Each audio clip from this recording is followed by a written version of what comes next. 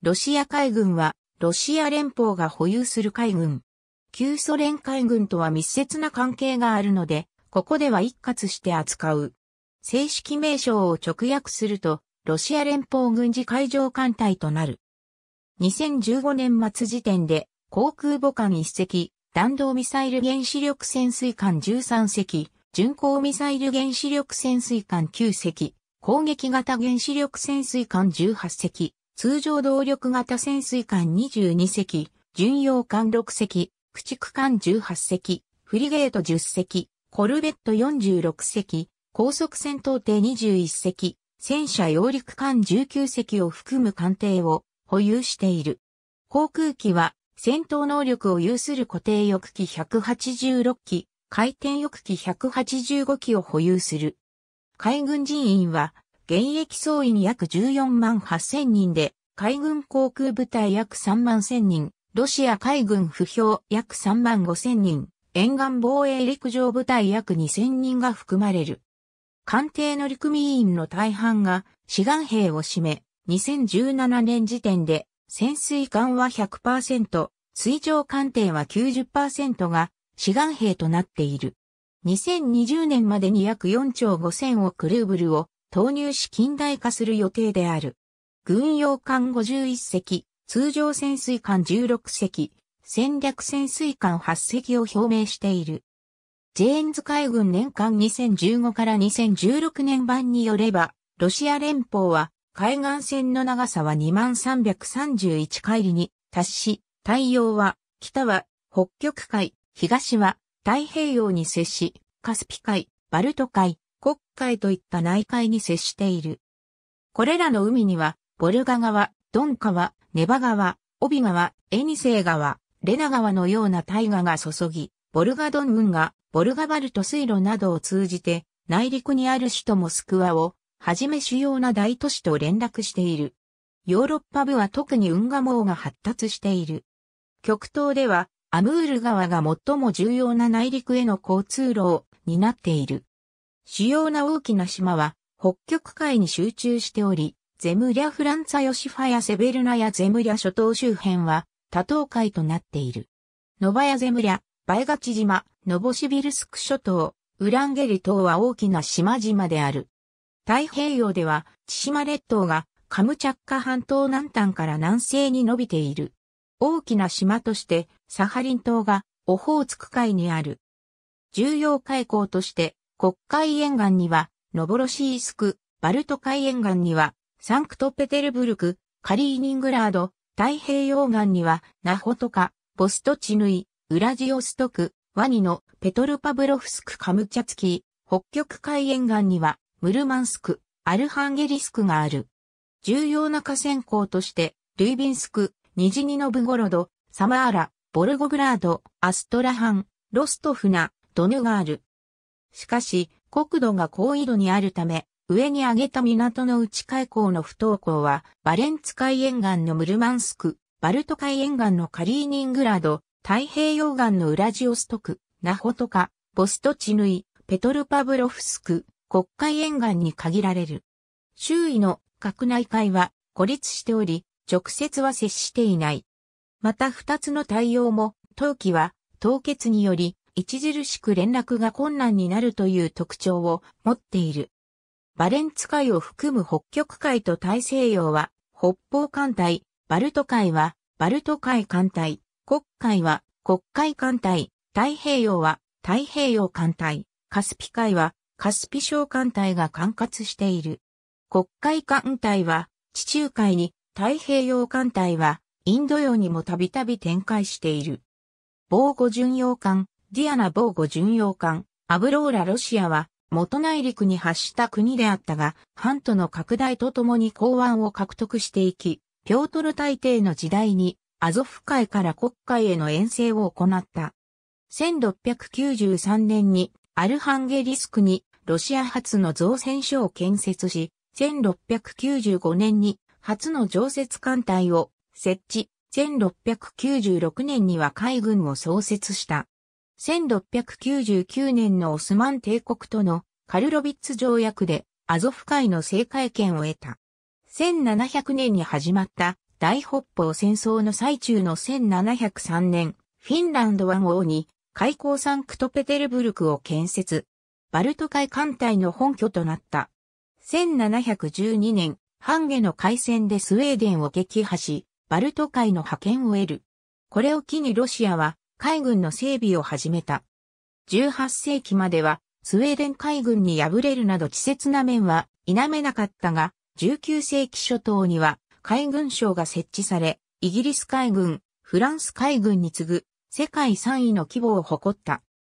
しかし、クリミア戦争では、シノープの海戦でオスマン帝国海軍を壊滅させた一方で、セバストポリ防衛のために艦船を自沈させて、水兵を不評に転用するなど苦戦を強いられ、1856年のパリ条約で国会艦隊を手放さるを得なかった。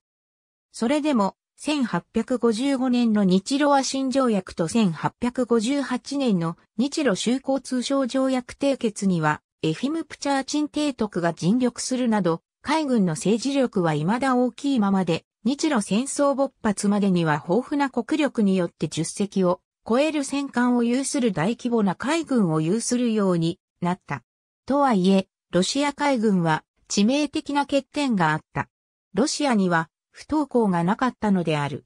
これを得るためにアジアに勢力を伸ばそうとし、日露戦争が勃発した。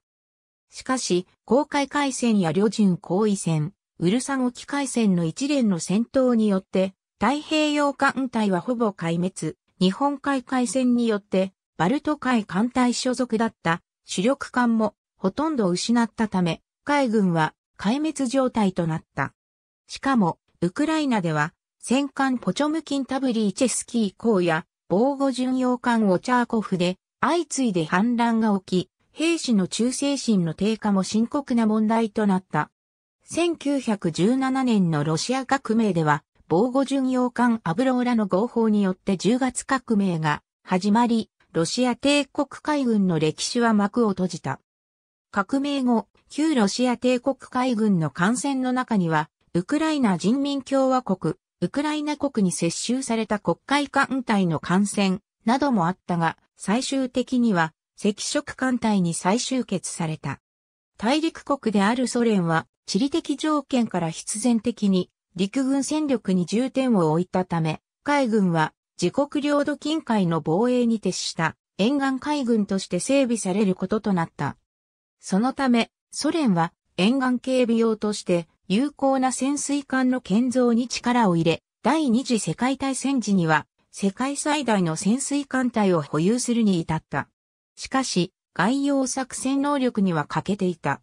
主要交戦国であったドイツも海軍力に乏しい陸軍国であったため、大戦中にソ連海軍が大規模な海戦を経験することはなかった。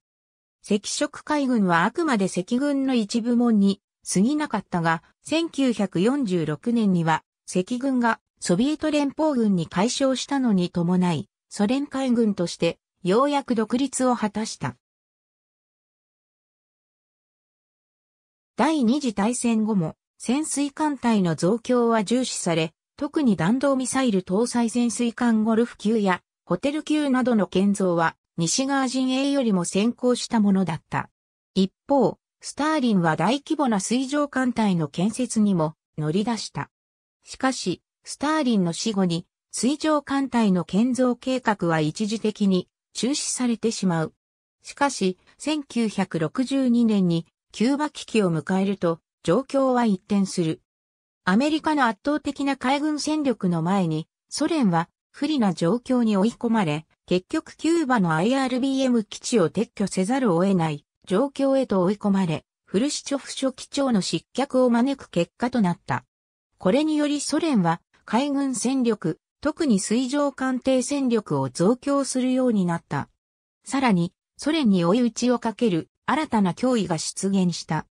1960年代、米ソミサイルギャップの対抗策として、アメリカ海軍はジョージ・ワシントン QSSBN などの戦略核ミサイル搭載潜水艦を収益させてきた。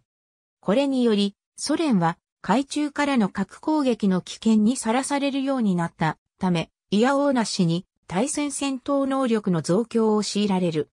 そして、クレスタ2型対戦巡洋艦、対戦ヘリコプター14機を搭載したモスクワ級対戦巡洋艦、クリバーク I2 級フリゲートなどを収益させた。ソ連海軍の基地を置いた国その後1970年頃からソ連はセルゲイ・ゴルシコフらによって世界戦略遂行の必要から本格的に外洋海軍の建設へと乗り出す。ただしこれは戦時において外洋で米海軍と積極的に交戦することを意味するものではなく、あくまでも平時における、小座フラッグのための外洋海軍という意味合いが強かった。ソ連海軍の戦時の基本方針は、あくまでも自軍の戦略核ミサイル原子力潜水艦を自由に活動させるため、自国近海を聖域化することであった。この際、一番脅威となるのは、米海軍の空母機動部隊であった。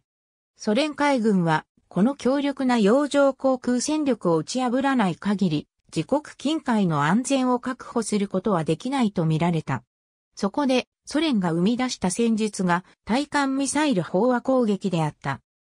これは、大型爆撃機、水上艦、潜水艦など、複数の兵器から敵空母をめがけて一斉に対艦ミサイルを発射、敵空母部隊の防空能力の限界を超えた数のミサイルを撃ち込むことで、米空母を撃沈しようという作戦であった。そこで、長射程対艦ミサイル P-500、バザーリと P-700、グラニートなどを多数搭載したソブレメンヌイ級ミサイル駆逐艦、スラバ級、ミサイル巡洋艦、キーロフ級原子力ミサイル巡洋艦など、強力な対水上打撃力を持った艦艇を収益させた。一方、アメリカ海軍に対抗して航空母艦の保有にも着手し、キエフ級航空巡洋艦、事実上の空母の重航空巡洋艦、アドミラル、クズネツォフなどを収益させ、さらに原子力正規空母、ウリアノフスク級の建造にも着手した。しかし、1991年のソビエト連邦の崩壊に伴って海軍力の増強は途絶えた。また一部の艦艇が以下のように旧構成国に移管されるとともに、バルト海ではリガ、タリンといった前進基地、国海ではセバストポリ、ニコラエフ造船所といった貴重な施設を失うこととなった。海軍の再建と実戦闘入現役復帰した重航空巡洋艦、アドミラル、クズネツォフソ連崩壊後、軍事予算の激減に伴って、ロシア海軍の艦艇稼働率は大きく低下し、新型艦艇の調達や、既存の艦艇に対する修理、近代化改修も滞るようになった。後述するステレグシチー級フリゲートが2007年に収益するまでソ連崩壊後に寄港された新型水上艦艇は一隻も収益していなかった。しかし2000年に成立したウラジーミル・プーチン政権は海軍力の再建に意欲を示し、同年、ロシア連邦海洋ドクトリンと呼ばれる文書を公表した。同文書では、海洋が今後の発展分野になるとの認識を示した上で、ロシアの海洋権益を守る力として海軍を位置づけている。こうしたプーチン政権の姿勢と国防予算の回復とが相まって2000年代後半以降、ロシア海軍の再建に一定の目処がつき始めた。その第一は、艦艇の外洋行動の活発化である。2007年12月5日、クレムリンで行われた会議において、ロシア連邦国防相、アナトーリー・セルジュコフは、プーチン大統領に対し、ロシア艦隊は、世界の海洋の異なる海域において、再びその存在を示すと報告した。同日、2004年に現役復帰したアドミラル・クズネッツォフ、ウダロイ級駆逐艦2隻、給油艦1隻、救助栄光艦1隻の計5隻で構成される艦艇打撃グループが2ヶ月間にわたる北東大西洋及び地中海への遠征に出発した。艦艇打撃グループは演習を行いながら大西洋を南下。12月15日、バルト艦隊所属の給油艦から燃料の洋上補給を受けた。12月21日に地中海入りした艦艇打撃グループはイタリア及びフランスの港を訪問し、両国海軍と合同演習を実施した。2008年1月18日、艦艇打撃グループは地中海で国海艦隊所属のスラバ級ミサイル巡洋艦モスクワと合流、翌1月19日、再び大西洋へ戻った艦艇打撃グループは本隊が1月21日から空軍の戦略爆撃機と合同演習を実施し、別動隊は1月24日からフランス海軍との2度目の合同演習を実施した。巡洋艦モスクワは1月25日にポルトガルを訪問した。艦艇打撃グループは1月28日から2月1日まで40機以上の空軍機と合同演習を実施し、2月3日にセベロモルスクへ寄港した。この長距離行動を皮切りに、ロシア海軍は継続的に艦艇グループを遠隔海域に派遣するようになっている。最近では、ソマリア沖の海賊対処のため、一隻の水上戦闘艦と数隻の支援艦艇からなる艦艇が継続的にソマリア沖に派遣されるようになったほか、空母、アドミラル、クズネッツォフや原子力巡洋艦、ピョートル・ベリキーをそれぞれ中心とする艦隊が大西洋やカリブ海、インド洋にまで進出するようになった。また、2010年にはロシア東部で実施された大演習ボストーク2010に参加するため、バルト艦隊及び国海艦隊から艦艇が日本まで長期展開した。第2に艦艇の建造、修理が活発化し始めた。例えば2001年12月に近海警備艦ステレグシュチーが2004年12月に大型揚陸艦、イワングレンが2006年2月には紅葉フリゲート、アドミラルフロータソビエツカバソユーザコルシコフが寄港されている。ステレグシュチー級は2007年11月14日に一番艦、ステレグシュチーが海軍へ引き渡され、2012年4月までに7隻が寄港されている。潜水艦も新造されており、ボレイ型弾道ミサイル原子力潜水艦、ヤーセン型多用途原子力潜水艦、ラーダ型潜水艦が建造中であり、2007年12月14日には試験潜水艦サロフが進水した。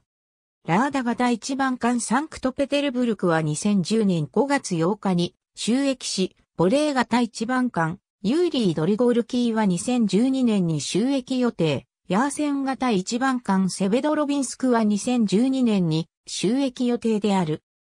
また、2004年9月には、ロシア海軍唯一の空母、アドミラル・クズネツォフが長期修理を終えて現役復帰し、2020から2025年まで現役に止まることになったほか、2011年以降には予備保管状態に置かれている黄色普及巡洋艦の現役復帰及び近代化改修が始まる予定である。その他の水上艦艇や潜水艦についても順次、修理、近代化改修が進んでいる。その一方、長期間、修理中の名目で放置されている艦艇については、除籍を進め、コスト削減を図る方針も示されている。プーチン政権は戦力の再建と並行して艦艇や海軍不評を実践にたびたび投入した。2008年の南オセチア紛争では、国海艦隊がグルジア海軍を攻撃。ロシアによるクリミア半島併合でも海軍不評が動員された。2015年にロシアはシリア内戦にアサド政権を支援して介入。国海艦隊はシリアに展開したロシア軍への補給任務を担ったほか、カスピ小艦隊や国海艦隊の艦艇が巡航ミサイル攻撃を加えた。空母建造計画2007年7月、ロシア連邦海軍総司令官、ウラジーミル・マソリン上級大将は、ロシア海軍が新型駆逐艦及び航空母艦を建造する計画を立てていることを発表し、新空母は少なくとも長さ100メートルを超える原子力艦になり、計30機のジェット戦闘機とヘリコプターを搭載すると発言した。2008年2月、ロシア連邦軍機関紙、クラースナヤズベズダーで、ロシア海軍は2012年から2020年にかけて、4隻の中型クラス航空母艦を寄港する計画を立てていると記述された。2008年4月4日、ロシア海軍総司令官、ブラジーミル・ビソツキーは、記者会見で、ロシア海軍は2050年から2060年6個の航空機動部隊を保有する計画であるとの発表をした。新たに編成される海上航空母艦システムは、航空母艦、戦闘艦、航空機、無人戦闘機、潜水艦、人工衛星からなり、新型航空母艦の建造は2012年から行われ、北方艦隊と太平洋艦隊に配備される予定である。2008年10月11日、ドミトリー・メドベージェフ大統領は、アドミラル・クズネッツォフ乗組員との会合の席で、国防省に対し今後2年間で艦の建造に近づくため、新航空巡洋艦建造のための開発計画を作成するよう指示したと述べた。メドベージェフは航空巡洋艦は平均して約5年で作られるという見通しを述べ、早ければ2015年には最初の成果を得られるだろうと発言した。また、新航空巡洋艦の動力装置は原子力でなければならないという個人的見通しを述べた。ロシア海軍は4個艦隊と1個小艦隊からなる。北方艦隊と太平洋艦隊は太陽艦隊であり、隣接海域を超え、各々大西洋と太平洋で活動することを目的とする。バルト艦隊と国海艦隊は海洋艦隊であり、各々隣接海域のバルト海と国海及びそれらに近い海域で活動することを目的とする地域艦隊である。AK-74M を構える海軍不評。2003年、ソビエト連邦の崩壊後の1992年から2014年までは、ソ連から独立したことで、外国領となったウクライナ領クリミア半島の軍港、セバストーポリをロシア海軍がウクライナ政府から有料で咀嚼利用していたが、同半島ごと併合した現在では、この咀嚼料を払わずに国会艦隊の拠点としている。クリミア危機の際にセバストーポリ閉塞作戦を実行し、一部を覗き港内で逃げ遅れた旧ウクライナ海軍保有艦艇の大半を露獲し、急速な戦力増強に成功したとされている。2015年5月現在の検疫艦艇一覧。括弧内最初の数字は、原番号を、最後の西暦は、収益年を表す。すでに退役した艦艇については、ソ連ロシア海軍艦艇一覧を参照。紹介艦 BGK2152 艦上戦闘機スマイナス33 2015年5月現在。ありがとうございます。